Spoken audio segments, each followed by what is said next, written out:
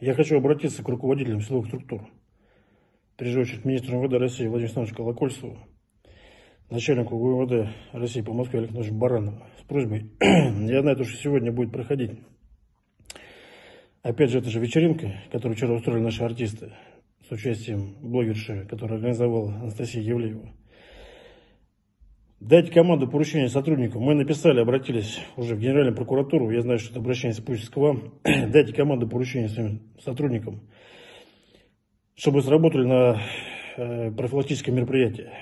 Пусть ребята то зайдут и проведут профилактическое мероприятие. Как минимум всех нужно задержать, доставить местное отделение полиции провести профилактическую беседу совместно с журналистами, чтобы они показали, кто это и что это.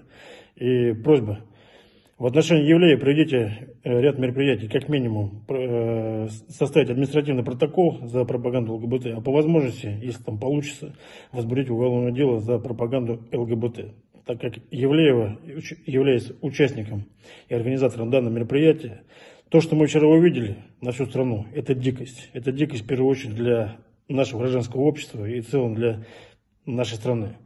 Сегодня специальная военная операция, и я вам говорю то, что сегодня наши ребята воюют не за это, то, что мы вчера увидели. Они воюют за нашу страну. А то, что люди, эти люди вчера устроили с участием звезд, я считаю, что это дискредитация, в первую очередь, нашей страны.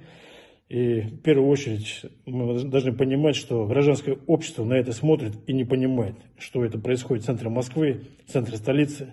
И эти люди сегодня как-то останутся безнаказанно. Я прошу, считайте, что это мое заявление, взять во внимание и провести ряд мероприятий.